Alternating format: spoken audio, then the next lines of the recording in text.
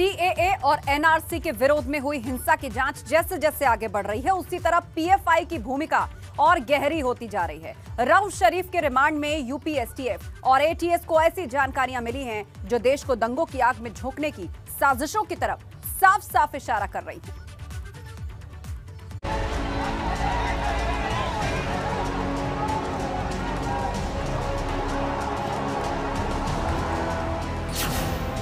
लखनऊ में एनआरसी और सीए के विरोध के दौरान जो हिंसा की आग भड़की थी, वो अपने पीछे कई सवाल छोड़ गई थी।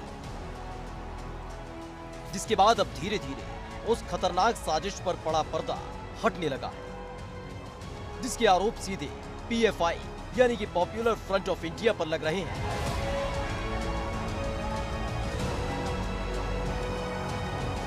दरअसल रऊफ शरीफ को एसटीएफ ने रिमांड पर लिया था और पूछताछ के दौरान उसने जो खुलासे किए हैं, उससे ये साफ़ हो रहा है कि पीएफआई और उसके स्टूडेंट यूनिट सीएफआई देश में हिंसा फैलाने के लिए खाड़ी देशों से पैसा ले रहे थे।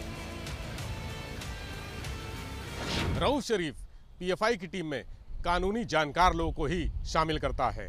ऐसा एसटीएफ की जाँच में सामने आया है कि रऊफ ने एलएलबी के कई छात्रों को पीएफआई का सदस्य बनाया है। ऐसा इसलिए है जिससे कोई भी सदस्य अगर गिरफ़्तार होता है तो वो अपनी खुद की पैरवी कर सके। इसके अलावा उसकी मदद के लिए वकालत पेशा लोग खड़े हो सकें, कोर्ट में जिरह कर सकें और एसटीएफ और पुलिस के सवालों की काट प्रस्तुत कर सकें।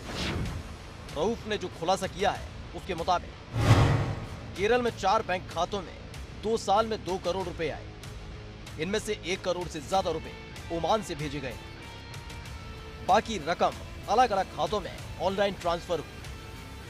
रकम भेजने वाले कुछ लोगों के नकली नाम भी सामने आए। एसटीएफ रऊफ शरीफ के सभी चार खाते सीज करने की तैयारी कर रही है। पीएफआई की स्टूडेंट विंग सीएफआई के राष्ट्रीय महासचिव, रऊफ शरीफ के खाते में करीब दो करोड़ रुपए आए थे। ये दो करोड़ रुपए किस लिए आए थे, इसकी एसटीएफ जाँच कर रही है। आपको बता दें कि रऊफ शरीफ के खाते में जब सीएएनआरसी का प्रदर्शन दिल्ली में हो रहा था, तब एक करोड़ रुपया भेजा गया था। ये रुपए ओमान से भेजे गए थे। इसके अलावा देश के अलग अलग हिस्सों से और अन्य खाड़ी देशों से भी रुपया भेजा गया था। ये रुपया माना जा रहा है कि देश में और उत्तर प्रदेश में जातीय हिंसा फैलाने की साजिश रचने के आरोपियों को मदद पहुँचाने के लिए दिया गया था। एसटीएफ अधिकारियों की माने तो विदेशों से भेजी गई इस रकम का इस्तेमाल देश में हिंसा फैलाने और सांप्रदायिक माहौल बिगाड़ने के लिए किया गया। फ़िलहाल एसटीएफ ये पता लगाने की कोशिश में जुटी है कि पर्दे के पीछे छिपे हुए कौन से चेहरे हैं जो खाड़ी देशों से भारत को हिंसा की आग में झोंकने की साजिश रच रहे हैं। वहीं कुछ नाम तो सामने आए हैं, लेकिन सूत्रों की माने तो ये नाम नकली ऑडियल में काफ़ी बातें प्रकाश में आई हैं और इनके एम्स, गोल्स मेथडोलॉजीज ये सब सबकी जानकारी हुई है। खास करके इनकी जो इनका जो एम है, हर हर स्थान पर, हर ज़िले में एक स्क्वाड बनाना, उसको ट्रेन करना, आम करना और उन्हें खास टास्क देना। दंगे फैलाने में उनकी किस प्रकार से साजिश करनी है और उसके बाद कैसे स्वयं को डिफेंड करना है, कैसे ऑफेंसिव स्टेप्स लेने हैं, ये सब इनके ट्रेनिंग का हिस्सा है।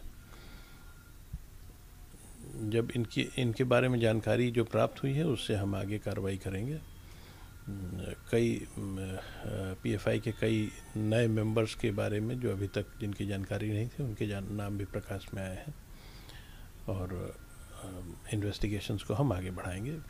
रऊफ की अब अब जो पुलिस कस्टडी रिमांड थी, वो समाप्त हो चुकी है और उसे वापस मथुरा जेल में दाखिल किया जा चुका है। रऊफ शरीफ, चार्टर्ड अकाउंटेंसी का कोर्स भी कर रहा है। ये कोर्स वो इसलिए कर रहा है ताकि उसके खातों में विदेशों से जो रकम आई है, जो विदेशी फंडिंग हुई है, उसको लीगलाइज रूप दिया जा सके। एसटीएफ की जाँच में ये बात सामने आई है कि रऊफ ने अपने खातों में जो सीएनआरसी के दौरान एक करोड़ रुपए आए थे, उसको लीगलाइज करने के लिए तमाम फर्जी दस्तावेज़ प्रस्तुत किए हैं। एसटीएफ इन दस्तावेजों की जाँच कर रही है।